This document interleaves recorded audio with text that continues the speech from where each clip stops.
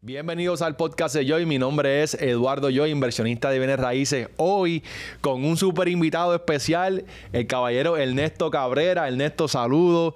Eh, Ernesto está representando eh, como candidato a la alcaldía para el municipio de Guaynabo, para el Partido Popular.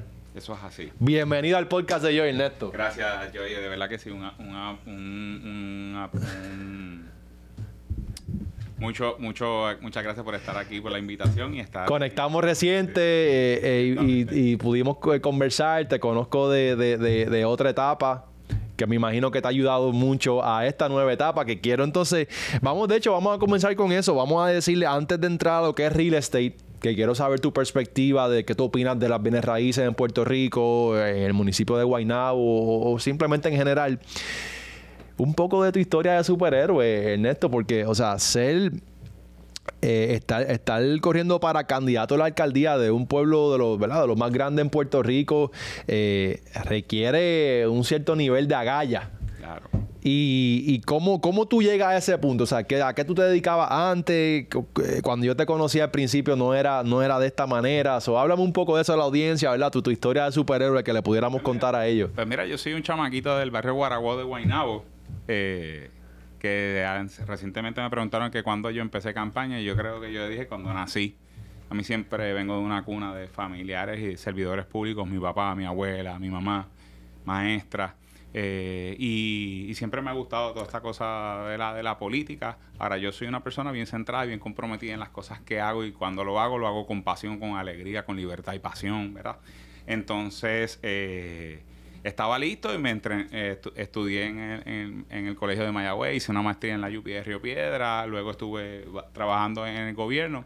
Y ahí fue que te conocí, que estuve luego como unos talleres de transformación y liderazgo, que me hice master coach, que puse, pude viajar y tocar sobre 15 mil a 20 mil personas en Colombia, en México. ¿Cómo, ¿Cómo tú llegas ahí, Ernesto? ¿Cómo tú llegas a ser master coach y, en qué momento?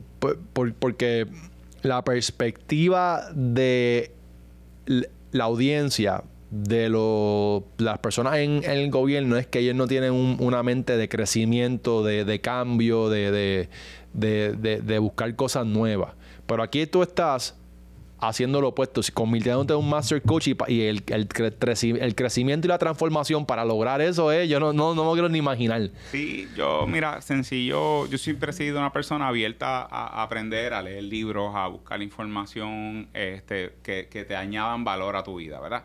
Y en ese momento, pues, eh, se acercó a mí mi hermana eh, mayor y me dijo, mira, tengo esto para ti. Y de ahí fue un cambio yo pensé, fui allí por, por complacerla después, eh, pero después cuando vi toda la información que había para mi vida en particular, en personal, cómo yo lo podía aplicar para mí, para mis sueños, para las cosas que yo quería construir. O sea, yo era me di cuenta que entonces yo era un Picasso, yo tenía un canvas en blanco de mi vida y yo podía hacer algo totalmente diferente. Y es, es lo que he ido construyendo. Dentro de este proceso te puedo decir que apliqué, fui, tomé estas herramientas, me fui, las apliqué en mi vida personal, las apliqué en, mi trabajo, eh, que trabajaba en un municipio. Luego, luego seguí creciendo y, y, esto, y unos master coaches como son Michael Trasner y Chris Lee vieron en mí una, una, un, poder, una, fuerza de, de, motivación, una fuerza de speakers, ¿verdad? Y me invitaron, me hicieron esta gran invitación. Entonces, ahí yo comienzo el proceso, que ahí fue donde te conocí. Eh, dirigí eh, la compañía Impacto Vital en Puerto Rico, pero no, yo no me quedé solamente ahí. Habían otros master coaches que hicieron una academia, Academia de Transformación Contemporánea, que Wanda Aquino con Roberto Rodríguez y Manolo Gavián, un master coach de primera de Puerto Rico. Y, y eso fue un pop-up y para el mundo, para Colombia, para ciudades de Estados Unidos como Phoenix, Tucson, El Paso, Denver, Miami. Entonces, ir a este jibarito, tú sabes, a, a Cali, Colombia, a Bogotá. Eh, y fue una experiencia de ver otra cultura, ver un servicio de la gente, ver qué podemos hacer, no tampoco dejar de hacer los talleres aquí en Puerto Rico. Así que para mí eso fue un, un super boom. Luego del huracán María, pues eh, con, hubo muchos cambios en relación a eso eh, y ahí me fui a trabajar con la Asociación de Industriales de Puerto Rico que fue ver, la asociación es la, la, entidad que rige y, y agrupa la mayor cantidad de compañías de, manufactura en Puerto Rico y de empresas de servicio, un, un, un, un ecosistema de, que generan sobre 200 mil empleados, ¿verdad? Eh, que son los que realmente mueven la economía en este país. La, manufactura y las compañías que le dan servicio a la manufactura.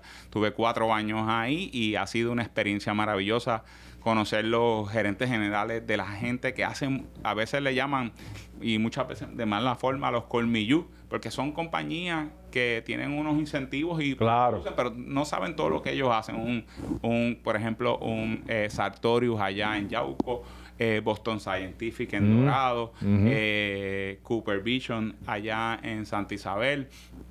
Eh, y cuando y seguimos y seguimos. Sí, sí, esos incentivos son cruciales, son cruciales para poder son cruciales para competir. ellos como empresas, pero también lo que ellos generan en la economía de, Puerto Rico sobre 90 mil empleados ellos y unas y unas y un y fíjate que te, mira cuando te dije ahorita te dije hablé de 200 mil pero la manufactura son 90 hmm. o sea que las empresas de servicios hmm. generan gracias a la manufactura sobre 110 mil empleados entonces eso te nutre el que vende el servicio de seguridad, el de limpieza. Claro, el, de mantenimiento, todo. El, ingeniero que creó la infraestructura, todo. Y entonces inteligencia artificial, este, eh, pues almacenamiento. Transportación, todo. Oye, estamos hablando de todo y Puerto Rico y más ahora con, con todo lo que pasó luego del COVID, se dieron cuenta que Puerto Rico sigue siendo un, lugar estratégico para la manufactura eh, americana, para que se mantenga de esta forma y Puerto Rico tiene una oportunidad grande, pero hay que trabajar mucho. Hay que trabajarla, hay que trabajarla. para, para incentivar a, a, otras compañías privadas a que también crezcan su desarrollo, su manufactura y disfruten de los mismos beneficios que ellos disfrutan, porque muchos de esos beneficios también aplican aunque tú seas puertorriqueño, siempre y cuando exporte. Claro, claro que sí. Por ejemplo, o manufactura. La gente a veces piensa, ok, este, estas compañías, pero vamos a cogernos el caso de Cooper Vision. Cooper Vision hizo una inversión de 350 millones de dólares.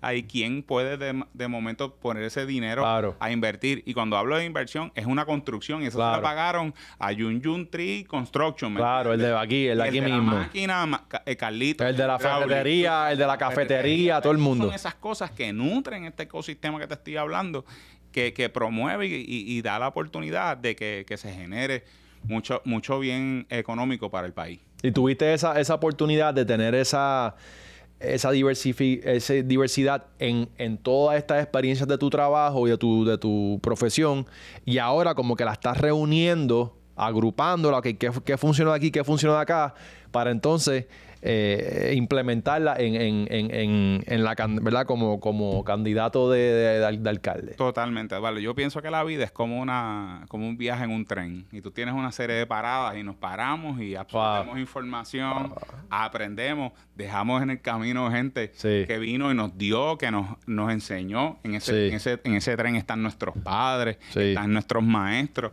nuestras experiencias laborales y nos vamos a siguiendo y seguimos echándola a nuestra mochila y nos movemos a la próxima estación. Mi próxima estación es servirle al pueblo de Guaynabo y para eso yo me, presento como un candidato del pueblo de Guaynabo, nacido y criado en Guaynabo, pidiéndole una oportunidad a la gente de Guaynabo que vote por uno de los suyos, que se preparó, que tiene una mochila llena de grandes experiencias, de cosas que quiere crear, cosas diferentes. Sí.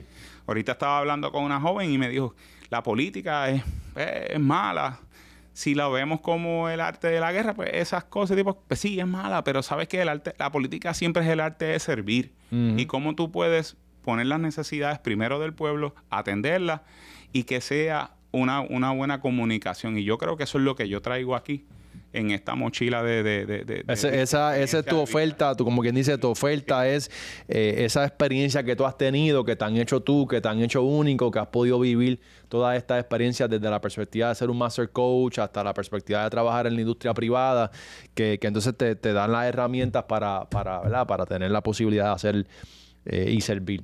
Pregunta, ¿cómo, ¿cómo tú estás viendo el análisis de la vivienda? En, ¿verdad? Vamos a hablar un poquito al macro. eh, la- las propiedades, la infraestructura en Puerto Rico, mucho, mucha de la, de la gente se queja, especialmente la gente que viene de Estados Unidos a Puerto Rico, es como que esto está hecho canto. Y, y se refiere específicamente a las propiedades, que hay muchas propiedades abandonadas, los cascos del pueblo. O sea, ¿cuál es tu, tu perspectiva con eso? Aunque el, el casco del pueblo de Guaynabo ha, ha- ha recibido bastante transformación, pero ¿cómo tú estás viendo los otros cascos del pueblo de los otros municipios, la infraestructura del real estate como tal? O sea, curiosidad, ¿cómo, cómo tú piensas acerca de eso? Mira, vamos a, vamos a entender unas cosas del concepto de Guaynabo que sería bueno ponerlo en el contexto de Ok. que es Guaynabo. Guaynabo era un pueblito. Cuando hicieron, cuando el, gobernador Rafael Hernández Colón a- a- a extendió, trajo la, la- la- ¿verdad? el expreso Martínez Nadal y, y, agrandó la carretera 199, que es la de los paseos, Sí. que llega hasta allá, hasta Trujillo. Eso le dio un boom a Guaynabo, junto con un montón de, con- de urbanizaciones que se fueron construyendo Sí. y, una- y un, y un- y un estilo de vida que se dio y se trajo a Guaynabo. Y por eso en los años 90 se hablaba de Guaynabo, la ciudad que todo el mundo quería Guaynabo vivir. City, Guaynabo Guaynabo City. City, Guaynabo, no, los 90 y los 2000. Ese fue el boom de esta, de esta forma de vida de Guaynabo. Que hasta poquito tiempo, pues teníamos esa, esa, esa, esa, esa gema, ¿verdad? En nuestras manos. Ahora sabemos que se ha mudado mucho para, para Dorado. Claro. Este, pero, pero, pero Guaynabo sigue teniendo el, el Sí, valor. y- claro. Y, y tiene, y tiene un... eh, Es bien distinto que Dorado. eh, hasta Claro. cierto punto, bien, bien, bien distinto. Guaynabo es mucho más grande, está más cerca de San Juan, tiene otras cosas. Obviamente Dorado pues también tiene su playa, whatever, pero lo veo como que dos cosas bien distintas. Guaynabo lo que pasa es que es una ciudad de 90 mil habitantes en la que tú tienes una parte bien extensa de terreno que es la ruralía, la que le podríamos llamar el, el- el sur, ¿verdad? Eh, que, que tiene la mayor cantidad de terrenos del municipio, pero donde ve- vive la menor cantidad de personas, Correcto. ¿verdad? Porque la, ma- la- el grueso vive en, la- en- en lo que es le- del pueblo hacia San Patricio, que es todos estos proyectos, condominios y, y demás. Pero eso también tiene también unas, eh, unas características bien interesantes, Eduardo, porque por ejemplo, la, el zip code 00968, que es el área de San Patricio, es la mayor cantidad de personas de tercera edad en Puerto Rico a nivel del censo de los Estados Unidos. Esto no te lo dice Ernesto Cabrera, ni te lo dice nadie, te lo dice el censo. Entonces, tú también tienes que ver cuáles son las condiciones para las personas de tercera edad que como municipio y, servicio tú le debes de dar tanto a nivel a- a esas viviendas, la calidad de vida, eh, la infraestructura de energía eléctrica, la infraestructura de servicios sanitarios, la infraestructura de las, de las aceras para que puedan, eh, de transportación para que las puedan llevar a sus citas. O sea, tú también tienes que tratar entonces y ver lo que tú estás obteniendo y cover transformando. Guaynabo, como te dije, sí, el casco urbano un momento dado estuvo bien, bien, eh, se, se fue decayendo, pero el casco urbano ha tenido una rehabilitación bien, bien maravillosa y mucho en parte gracias a, a Atlantic University, Atlantic College, Que es una, una compañía privada. Sí, es una empresa, es una compañía de educación, de universidad, ¿verdad? De co- un- es un college, eh, pero ellos son bien duros en todo lo que es tecnología, creativo, eh, diseño, todo ese tipo. toda esta Y esa gente, pues, han hecho una gran inversión en Guaynabo, han seguido adquiriendo mucha propiedad y mantienen el casco urbano de Guaynabo vivo con sus estudiantes, porque esos son los estudiantes que van y comen en, en el negocito de Ricky, de, de, de, De la de esquina, Mirna, claro. o sea, de, to- de todo el mundo. Así que esas son las cosas que hay que, que ir trabajando. ¿Cómo, cómo tú, si tú fuese, vamos a decir que tú fueses alcalde de otro pueblo, No, eh, ¿cómo tú harías para revivir el, casco urbano cuando maybe estas compañías gigantescas privadas no, no tienen tanto interés? ¿qué, qué idea o, qué, o, cómo tú ves esto? Porque yo veo, yo soy de Corozal, por ejemplo, y yo veo el casco de Corozal y el de otros pueblos y digo, contra, mano, hay muchos edificios abandonados y yo estoy en bienes raíces pero yo hago la matemática y no hay rendimiento en esos lugares. Entonces, como yo tengo un negocio para hacer ne- dinero, pues no, no hago el movimiento. Entonces, yo no sé si esto cae en las manos del municipio, en las manos de otros inversionistas. ¿Cómo, cómo tú ¿Cuál es tu take, verdad? A 10.000 pies de altura de, de cómo tú ves una manera de, de posiblemente arreglar estos cascos del pueblo a nivel de bienes raíces. Mira, lo primero es la limpieza, porque tú puedes tener muchos edificios en los cascos urbanos en desuso, en malas condiciones, pero por lo menos están limpios, Mm, ok, buen punto. están, están eh, estéticamente visibles. Entonces, alguien puede, si viene un inversionista, bueno, dice, bueno, está vacío, le hace falta plata para arreglarlo, pero esta área está limpia. Claro. vale la pena. Tiene Claro. el, el municipio y, el, y, y- y el, y la gente tiene una, un- una visión de cómo le gustaría que esto se viera. Y eso te puede traer Definitivo. lo próximo. Porque Claro. yo estoy seguro que cuando Atlantic College eh, compró lo que era el Colegio San Pedro Mártir, allí en el casco urbano, al lado del co- de, la, de la parroquia San Pedro Mártir, este, porque ese colegio, ahí yo estudié. Sí. Entonces, yo fui el último kinder y ya habían construido un colegio nuevo en la urbanización Colimar. Así que cuando nosotros, yo me fui para el primer grado, me fui para el edificio nuevo, la, la pomposería, y se quedó ese edificio. Atlantic College muchos años después compró eso.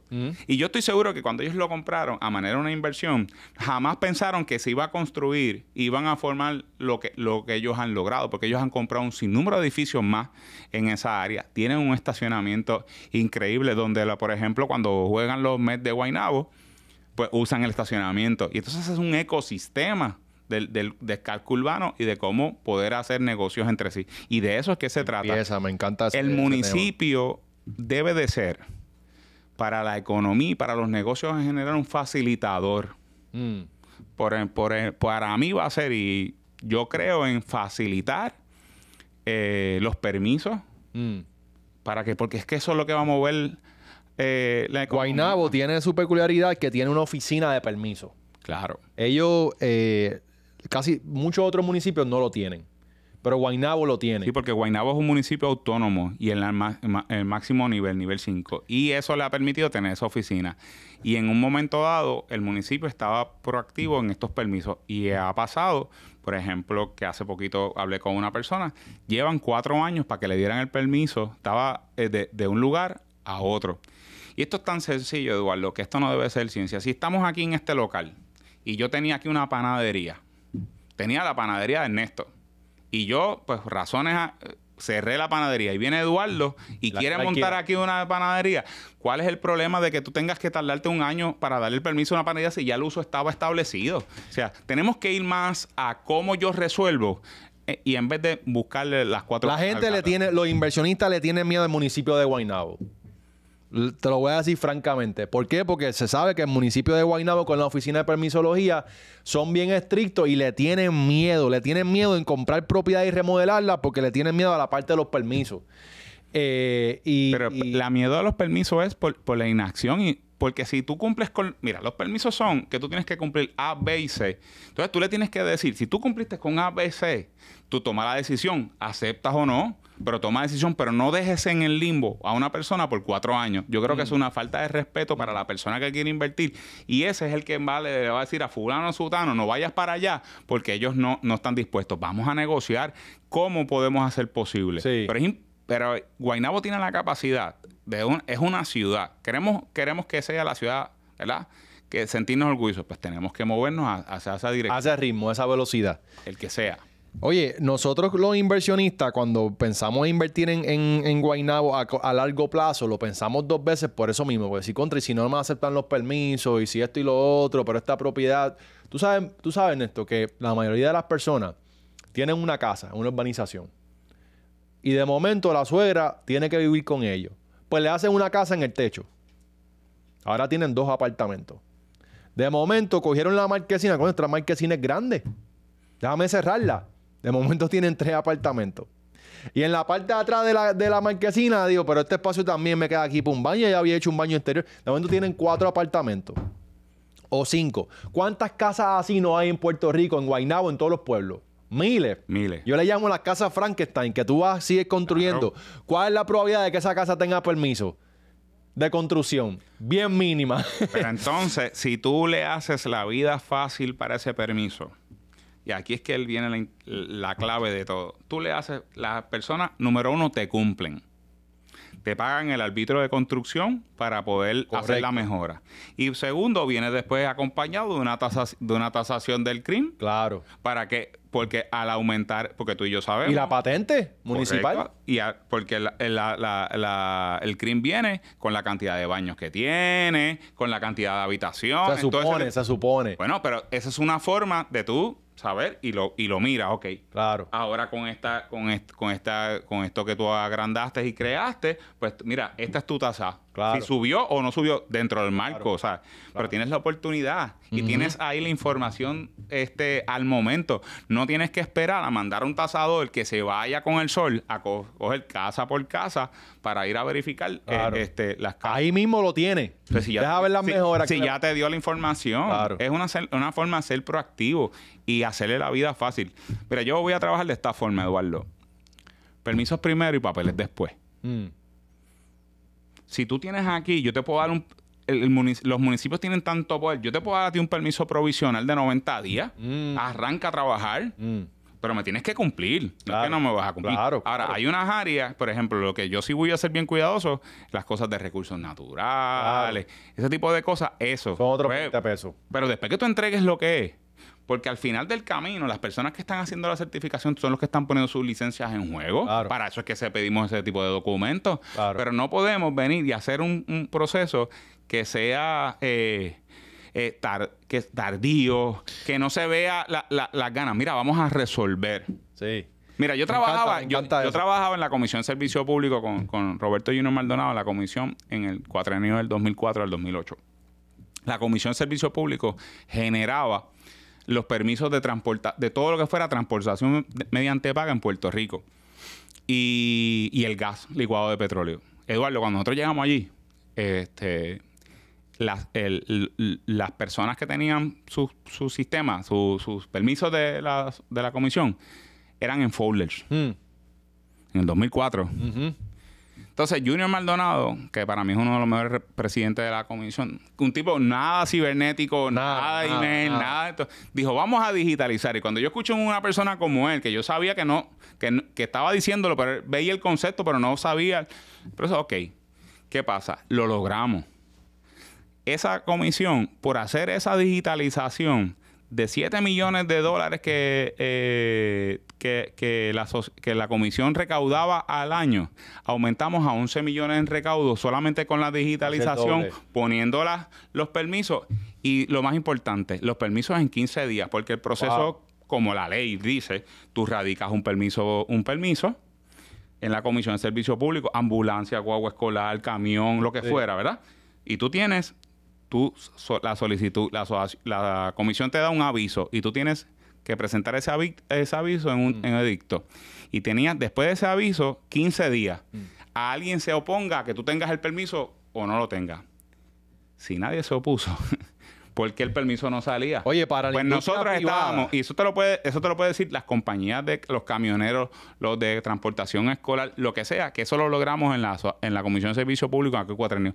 Y conllevó un enrolamiento de personas para que creyeran en el proyecto, porque hay gente que también, porque, ay, que así se hacía antes. No, Sí, mano, sí, es que nos sí. tenemos que abrir, O hacer si, lo hace digital, ya yo no voy a estar haciéndolo. Claro. Y tienen la- el miedo de perder su trabajo y que. Claro, vamos a dar los permisos porque al final del camino, si- mientras más permisos tú des, es la economía que es la que va a estar Claro, más, más- de- más patente municipal tiene, más CRIM, mejoran la, la infraestructura y todo. Ernesto, ¿qué tú opinas de la del tema, del 18 tema este de Airbnb, renta a corto plazo? ¿Cuál es tu take con eso? La, legisla- eh, ¿Quieren legislar? ¿Quieren regular todo esto? ¿Cuál, cuál es tu, tu opinión a 10.000 pies de altura con todo? Mira, a, a mí, yo soy usuario de, lo- de los Airbnb, me encantan, creo que producen una economía eh, y te da la oportunidad de tú rediseñarte también de, de manera eh, Empresarial, eh, claro. Y a mí me llama mucho la atención porque yo sé de gente que montó su... empezó limpiando un Airbnb y ahora tiene una compañía de limpieza de Airbnb. Ese es el ecosistema que eso claro, genera. claro. Y yo creo que eso es lo importante, que se puedan, siempre que estén dentro del marco de la ley, que paguen su- sus impuestos, que la gente sea responsable, que sea una responsabilidad, ¿verdad? La persona que, que tenga y que, que pueda tener. Ahora, donde yo tendría los reparos serían en, sitios que tengan, por ejemplo, cantidad de, de- de personas de la tercera edad que afecten, porque sabemos que el que va al Airbnb, hay, mira, hay una, el- lo bueno del Airbnb que tú básicamente sabes eh, quién es el que está yendo, Correcto. sabes cómo se- cuál es su comportamiento, sabes si es un comportamiento nefasto, pues tú no lo, no, tú no lo recomiendas más en la aplicación y eso es lo que, y eso es lo que, y es la información valiosa. O sea que hay la gente que, que, que abrir a la, a la posibilidad de, número uno, hacer negocios con responsabilidad. Y los usuarios también, hay que enseñarlos y, Y que O sea, que tú siempre- lo, yo tú me- lo ves me- positivo, tú estás proactivo a eso. Claro, y es una forma también de, de mover eh, la economía, porque por ejemplo, mira lo que te voy a decir, el casco urbano de Guaynabo se mantiene con la, con la Universidad Atlantic College de 8 a 8 de la noche, cuando están los estudiantes. Por Correcto. eso se cayó. Muerto. ¿Por qué no puede haber un, un- no pueden haber apartamentos de ese tipo que se mantengan entonces por la noche y participen de los restaurantes y las áreas que hayan cercanas? Claro. O sea, hay posibilidades, o sea, es, de todo, es hacerlo, yo entiendo que es hacerlo todo correctamente y abrir la posibilidad de negocio. El tema de los estorbos públicos. Eso es un tema que a la gente le encanta. ¿Por qué la gente está tan apasionada con el tema de estorbos públicos en todo Puerto Rico? Mira, yo te voy a hablar de mi experiencia. Yo trabajé en Cataño, pero viste que me te digo del tren que uno va aprendiendo. Y entonces a mí me tocó parte de, de esa parte en, en Cataño de bregar con los estorbos públicos. La realidad es que hay muchos, este, muchos, muchos estorbos públicos en diferentes áreas, en urbanizaciones, come- eh, lugares. Y entonces, pues, por X o Y razón, ¿verdad? Una, un problema de herencia, un problema de una situación, alguien que se fue a Estados Unidos y realmente no le interesa. O sea, son muchas cosas. Pero entonces, ¿qué pasa? Tú te tienes que preguntar, oye, tú tienes esto en el casco urbano, Mm. tú estás en esto en una urbanización, tú estás afeando la salud. Pero vamos a hablar, vamos a hablar, no hablemos de casco urbano, vamos a hablar de la urbanización. Yo estaba hace unos días caminando en la urbanización Terrazas de Guaynabo, cerca de mi casa, y habían unas casas allí en, en estorbo público. Eso, número uno, estaba en la entrada, afea la entrada de la gente, Correcto. o sea, porque de, de- de momento tú tienes un, a entrar a tu, a tu casa, porque para mí, gente, la casa es, es tu castillo. No importa si es de tres cuartos, si es de dos, si es un estudio. Eso es tu castillo, es donde tú vas y te relajas, te das tu cervecita así, te das la te, te das tu vinito, si no, pues te concentras, estudias, te preparas. Tu, tu castillo es tu castillo y nadie debe de jorobarte la paciencia en tu castillo. Pero también que tu entrada a tu castillo sea un castillo bonito y que esté, a- por eso, por, a- por eso hablé de, de la limpieza en el casco urbano y en todo. Entonces tú entras y ahí está esa, esa casa con, con esas condiciones. Pues mira, ¿qué yo haría si yo fuera alcalde dentro del marco de la ley? Pues mira, yo mandaría se- es que para mí, a mí, yo creo que es inversión, es, es manera de, saca- de salirnos de lo, de lo clásico. Yo voy, le a- cojo la propiedad, la, la limpio completa, la, la preparo, la arreglo. Todo lo que yo gaste en dinero, yo lo pongo ahí en esa, en, en esa Una deuda. en una deuda y lo pongo ahí apuntado y alquilo esa casa, por ejemplo, en plan 8. Que el municipio va a recibir los chavos del mismo plan que, que genera e- ese programa. Entonces, tengo esta propiedad generando. Apareció el tío de la sutana, que es el heredero. Ya que está linda y alquilada, ya aparece no tengo problema, te vas a hacer cargo. Mira, Pani, debes de, de- debes de la propiedad tanto, tanto y tanto. Págame esto y yo te la entrego. No, mañana te doy las llaves. Perfecto. Arreglé, le mejoré la calidad de vida a los residentes. Porque no uno. tienen esa casa como un adefesio. Mejoré, traje una vivienda a... a- a- Que estamos cortos, que eso es otro tema que quiero hablar. o sea, se- eh, mira, esto es la gente. La gente tiene que entender que el juego se llama ganar, ganar. ¿Cómo gano yo? Pero gana el municipio, gana la gente, gana la comunidad. Mm. Ganar, ganar. Esa es la clave. Tú ves el municipio como una, como una, eh, y esto, perdóname si la, la pregunta es ignorante. ¿El municipio es una compañía que no hace, que no hace chavo? Se puede, se puede, se puede aplicar conceptos de negocio privado, de la industria privada, eh, a nivel de eficiencia, a nivel de, de rendimiento, a nivel de velocidad, a nivel de- de- de requerimientos, de valor de emisión en el concepto público. Eso, eso, eso es una locura. Mira, es que sí y no. Y me voy a explicar.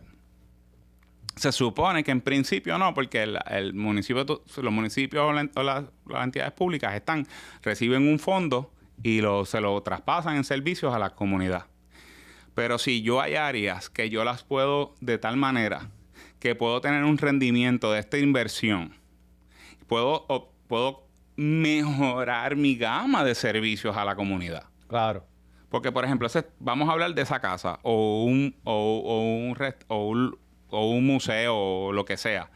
Si yo mejoro eso y o hago un si construí un, un, un, un esta- un estadio y construí un estacionamiento al lado, Claro. ese, ese dinero del, esta- del, del, De del la- del estacionamiento, estacionamiento. me ayuda a pagar el préstamo con el que yo hice el, Claro. eh, la inversión del estadio. Claro. Y es una forma de tú aumentar ese valor.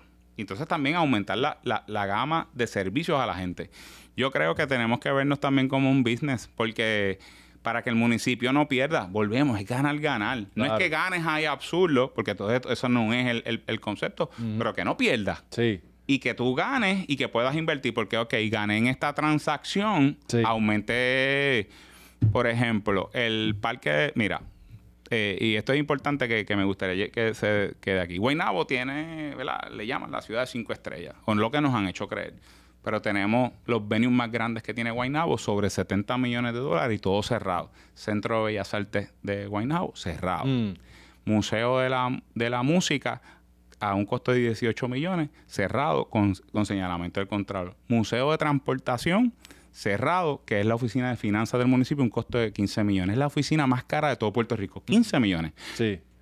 El, el parque de la, de la Marquesa, cerrado. Eso costó 28. Cuando tú sumas, tú dices, wow, 100 millones casi. tú sabes, ¿por qué? O no están haciéndose, cuando digo cerrado es porque el Museo de Transportación se hizo para que fuera un museo de transportación, no una oficina de finanzas, porque por algo se fue el fin público, por algo se hizo un préstamo para hacer esa construcción. Y yo creo que es importante eso. Entonces, vamos a coger el Parque de la Marquesa. El Parque de la Marquesa, con sus visitantes y lo que ellos alquilaban en el canopy, pagaban los empleados. Ok. Y era, una, era un precio módico de 3 dólares la taquilla, más, meni- más venía las personas Súper de, barato. ti- de, de Eso se podía haber subido un poco, de, tu- mucho más. de turismo, ¿sí? Y, pero también entiendo que lo que querían hacer era el parque temático más eh, económico para que viniera la mayor cantidad de personas. Claro. Es, un pun- es un punto, pero se puede ver la posibilidad. Claro, sí. Pero lo que quiero decirte es, ahí habían 100 empleados y, y, y- y generaba un millón de dólares para entre las entradas y los alquileres de la compañía de Canopy. Desde el María eso está cerrado. Y el parque pudo abrir a las dos semanas de María en la etapa 1. ¿Por qué? Porque el, tengo información que los funiculares los bajaron, los cables los bajaron, ya los funiculares estaban. O sea, es cuestión de si tú puedes generar, por ejemplo, que ese parque de la Marquesa le puedas, no es el caso, pero si quieres subirle la taquillita, le puedes subir la taquillita, puedes subir ot- otro, tipo de cosas y te aumenta el rendimiento. la y te gente lo paga porque la gente quiere las cosas, la gente quiere contribuir. El, el- el- el pueblo quiere contribuir. Y si hay que, y si para que se vea bonito, en vez de 3 dólares tengo que pagar 5, la gente lo paga, porque cualquier estacionamiento por ahí vale 10, 15 pesos en- aquí en Santurce, en la ciudad, donde sea. ¿Cómo tú le das prioridad? Y maybe no estamos saliendo del tema de real estate, pero cuando tú tienes tantos, tantas áreas de oportunidad que tú identificas, ¿cómo tú decides cuál atacar primero? Pues mira, nosotros hemos estado obviamente viendo un sinnúmero de en este caminar, porque obviamente primero cuando yo tomo la decisión de, de hacerme disponible, pues veía unas cosas de Guaynabo que sabía había un stop de la, de, de la forma económica que se estaba manejando el municipio, el boom económico, el boom social, el boom de, de construcción en el municipio. Eh, y tomo la decisión, pero he visto un montón de necesidades y hay que apre- apremiante y hay que crear un plan con uno, dos y tres según necesidades y las estamos viendo y las estamos conociendo. Por ejemplo, algo que a mí, este, por ejemplo, un issue que afecta a Guaynabo grandemente es el sistema de luz, del sistema de energía, solar- de energía. Entonces, yo no soy Luma, Claro, pero yo puedo ser portavoz. claro.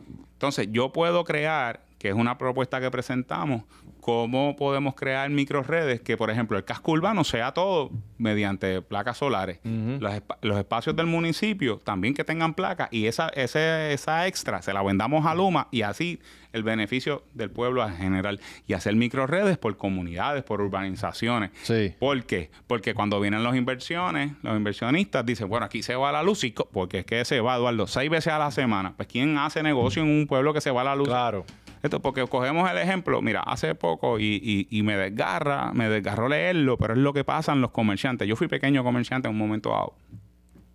Pero, por ejemplo, el rey, el de la bicholita quizás. Mm. Hubo un fin de semana que se fue la luz, que nos notificaron que se iba sábado. Pues se fue la luz sábado porque iban, iban unas mejoras. Llegó la luz por la noche. Ese domingo se fue. Otra vez. La gente trabajó con sus plantas, con los generadores, porque ahora tú tienes que tener todo ese tipo de cosas. El próximo fin de semana se fue la luz otra vez todo el sábado. Y él escribe, y hay que entenderlo, porque no es que él, porque es que, porque a veces la gente en las redes también escribe, ah, pero es que él tiene chavo. Él tiene, mira, ese es un ser humano que ha construido lo que ha construido con sangre, sudor y lágrimas para estar donde está que tiene unas plantas eléctricas para poder trabajar y dar un servicio a la ciudadanía porque, el, porque tenemos un sistema de energía deficiente. Entonces, ¿qué pasa? Pero también las plantas fallan, son cosas mecánicas, se dañan, el empleado faltó, el otro lo... y entonces cuando tú tienes, tú tienes un comerciante que, está absorbiendo toda esta carga eh, este, social y de, y de todo esto. Y, y, mano, pues tienen breakdowns. oye, oye, seguro, 100% y, sí. Y hay que ser empático en que, ¿sabes qué? Sí, él lo hace para él obtener ¿verdad? Su, riqueza, pero entonces tenemos que entender que la riqueza no es mala. Aquí la gente tiene que trabajar. ¿Tú quieres algo? Tienes que ir a trabajar. Claro. y, entre más tienes, y entre más tienes, más puedes ayudar. Claro. Y más puedes construir y más puedes ser con una... Con, con, la... Yo creo que también en Puerto Rico, y esto es importante, Eduardo, porque, por ejemplo, y hablando... Esto tiene que... Se ata al bien a los real estate. Guaynabo cerraron dos escuelas. ¿Verdad? Tú sabes que hay escuelas que las tienen la gente de caballo para poner caballerizas allí. La gente deja los caballos en los salones de clase. Porque no las venden. Porque no las venden, no, hacen nada. Entonces, tú tienes entidades como sin fines de lucro. Claro. Como un sin paredes, ¿verdad? Que, dan servicio a los jóvenes de, con discapacidad, ¿verdad? en otras cosas. convertirla en vivienda, convertirla en vivienda, apartamentos, es lo mejor que hay. Ya los salones están hechos.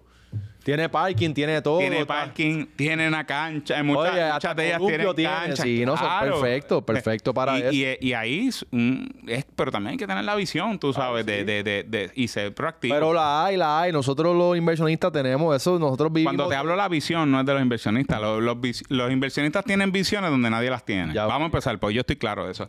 Yo hablo del gobierno. Nosotros tenemos que ser facilitadores. Y yo creo que Guaynabo tiene una oportunidad grandísima. Nosotros estamos, nosotros somos una ciudad bien con unas particularidades bien, bien brutales. Pero también tenemos que poner en marcha y hacer llegar gente que, que nos ayude para, para, construir. A mí me gusta esta dinámica que se, se dio aquí bastante natural y es eh, olvidarnos un poco de, aunque se está tocando, ¿verdad? De, del tema de la política y enfocarnos en, en, en el tema de, la capacidad de la persona. ¿Cómo tú evalúas el construir tu equipo? ¿Y cuán importante es tu equipo en lo que estás haciendo? Para mí es, importante porque, este, primero, yo soy un, hombre apasionado, libre, poderoso. Sí lo eres, sí lo eres. Entonces, yo busco personas que tengan ese tipo de, cualidades en mi equipo de trabajo porque yo puedo confiar. Nayib Bukele dice que cuando no se roba la plata sobra, el dinero sobra. Y esa es la realidad. Cuando no se roba, el dinero sobra. Yo soy una persona íntegra. Y yo quiero en mi equipo gente íntegra, gente que se preocupe con el dolor de, de sutano, de perencejo, de, de, lo que está, de lo que está ocurriendo. Por ejemplo, ayer yo estaba grabando un video, estoy haciendo mini video, que eso me está resultando. Hice un video de una comunidad, el cementerio, donde pues los buzones estaban malos. desde hace mucho tiempo. Y el Señor me dice, mira, yo estoy dispuesto a poner la mano de obra y dos o tres aquí que nos den el municipio los materiales. Y ese es el tipo de cosas que tú puedes lograr. Y yo creo que si tú tienes gente alrededor en, este, en mi caso mío, que, estén con mi visión, con, con, su visión personal alineada a la mía, a lo que queremos crear para Guainabo, pues muchos resultados positivos se van a dar. Y Guainabo se merece. Nosotros nos merecemos, como te dije ahorita, al final del camino esto se trata de tú llegar a tu castillo y sentir paz, tranquilidad y seguridad. Mm. Y eso es un punto importante. ¿Es, difícil construir ese equipo? No, es todo lo contrario. Es, mira, lo mejor que Papá Dios nos dio fue dos orejas y una boca. Dos para escuchar más y una para hablar menos. Así que escuchan. en mi caso, yo escucho. Hay veces que me creo que me lo sé todo, pero es parte de la naturaleza. Pero es importante tener gente que no se venda contigo, eh, te den feedback asertivo, te digan lo que funciona y lo que no está funcionando, escucharlos este, ponerlos en práctica, porque de qué te vale un feedback y no lo, pongas en marcha. Así que para mí es importante rodearte de gente poderosa, gente con actitud, con visión, con alegría, con amor, porque si, si aquí no hay amor, no se hace Tuviste que enrolarlo, tuviste que enrolar dos o tres, tuviste que... Pero eran gente, Eduardo, esto ha sido bien bonito porque han sido gente que, que desde que yo les dije, mira, voy para esto, yo estoy contigo. De la una. Porque han visto primera. quién yo he sido eh, en, toda, en toda mi vida, cómo yo me he desarrollado. Como te digo ahorita, o sea, la vida es un, un, un- un carril, ¿sabes? Un, un tren. Nos bajamos a unas estaciones, conocemos, nos llenamos de mucha información, soltamos lo que no funciona y nos movemos para la próxima Y, estación. y tu familia, cuando tú le dijiste la, la idea a tu familia, o, o- o- o esto es algo que tú llevas trabajando en tu mente y de momento sorpresa, o esto es algo en conjunto, ¿cómo fue la, dinámica con, con tú expresarle e- este movimiento y, y- y esta nueva meta a tu familia? Pues mira, eh, mis papás ya fallecieron, así que esa, esa, esa red de apoyo no la tengo ahí, pero sí sé que están orando por mí todo el tiempo. Eh, pero yo con quien más con quien tuve la conversación más valiosa en ese sentido fue con, con mi hijo. Yo tengo un hijo de 14, de 15 años, este, Ernesto Andrés. Y, y tuve una conversación porque antes de tomar la decisión, ¿qué tú crees que me han ofrecido esto? Esto es lo que hay, estos son los precios que se pueden pagar, estos son los premios que podemos obtener. Y, y su respuesta eh, me dice, mira, tú siempre has querido ayudar a la gente, pues dale, si eso es lo que tú haces. De la primera. Y eso es lo importante. O sea, lo demás fue mi otra familia, mis hermanas, obviamente, están ahí y, y no me, y mi familia, mi- mi- mis primos. Pero mi hijo, o sea, lo más importante para mí fue el Sí, sí. gallo. Y, Es un, y- es un momento emocional porque el hecho de que alguien eh, apuesta a ti o, o- o- o te apoya a ti de la primera, eso es eso significa mucho Sí, para uno como, como líder. Pero eso también es un feedback bien valioso de- de- para mí. Fue como papá. Mm. yo he sido. Mm. No he sido un papá perfecto, pero he sido un papá bien cool. Bueno, con eso vamos, vamos a dejarlo ahí porque nos vamos a echar a llorar si tengo preguntas más, más, más profundas ahí. Este, eh, pero ese es el tipo de, de conexión, ¿verdad? Que, que aprecio de ti y esa apertura y esa vulnerabilidad que cuando cogí los talleres contigo lo sentí y, me llegó y me transformó a mí y es específicamente eso, ¿verdad? Un, nivel de, de- de- que te importa, un nivel de amor y un nivel de pasión que lo tienes porque es parte de tu contrato y, y- y así mismo lo era. Así que eh, unas últimas palabras que le gustaría dejarle saber al pueblo de Puerto Rico que está viendo esto. Muchas personas en Estados Unidos, ¿dónde te pueden encontrar? ¿O qué, qué- qué te gustaría despedir? El, no, pues me pueden seguir en las redes. Tengo una página web, ernestocabrera.com. Tengo canal de YouTube que estoy poniendo todas estas ideas y todas estas propuestas. Eso me encanta. Eh, Entonces, todas, las redes, todas las redes sociales, todo lo estamos colocando. Mira, la gente puede decir que el pueblo de Guaynabo lleva, como lleva tantos años bajo, bajo el PNP, puede pensar que, que yo estoy tirándome a algo que no se puede lograr. Mira, el- lo más importante para mí es que los sueños, esos son, son sueños y tú los pones en, en perspectiva y los trabajas por ellos. Y te pueden decir a veces con una inversión o con un negocio que tú eres un loco, porque a Steve Jobs le dijeron loco cuando él decía Claro. que, que, una computa que iba a haber una computadora en cada hogar Claro. de, Estado- de Estados Unidos, ¿verdad? Y hoy lo vemos. A Cristóbal Colón le dijeron loco porque se, después se iba a acabar el, Sí. el mar, ¿verdad? Y, y eso es lo que te quiero decir. Te pueden decir la gente, te puede decir lo que quiera, pero lo importante es quién tú eres, qué tú ofreces, qué tú estás dispuesto a dar y cómo tú estás eh, siendo contribución a tu comunidad, a tu familia, a tu ecosistema para lograr un mejor Puerto Rico, porque al final del camino se trata de eso. Yo te pido que me sigas, que busques información, me des ideas, porque no me las sé todo, y si podemos encontrar proyectos y, propuestas que, que pongan a Guaynabo al próximo nivel, eso es lo que yo busco. Al final del camino, Guaynabo dejó de ser la ciudad que brillaba, yo quiero devolverle ese brillo y ese orgullo a los guaynabeños y a la ciudad.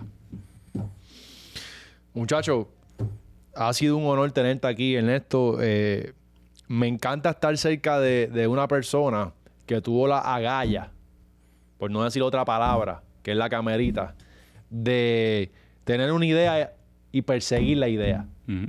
Pocas personas tienen, y a veces yo, hasta yo mismo, he tenido la oportunidad de tener una idea y no tener las agallas de perseguirla. Y, y- y cada día me muevo más hacia lo que tú estás haciendo. Y tener esa exposición de tener a alguien que lo está haciendo, aunque no hayamos conectado en buen tiempo, simplemente de tenerlo aquí es un honor para mí. Así que muchas gracias a, todos los que están viendo. En este video hay un enlace y en ese enlace está toda la información de Ernesto. el website, los videos de YouTube, o sea, todo para que tú lo sigas a él y te sigas instruyendo. Muchas buenas ideas, mucha buena vibra, como puedes ver, y, te mantengas informado, porque aquí el, juego para nosotros es información. Tú tienes buena información y tú puedes tomar una decisión con data estratégica, no con las emociones, sino con, con la data. Y eso a mí me encanta. Sí, porque al final del camino yo estoy en, una oportunidad donde la gente de Guaynabo va a poder tomar una decisión. Si sigue con lo mismo, se mueven a algo diferente.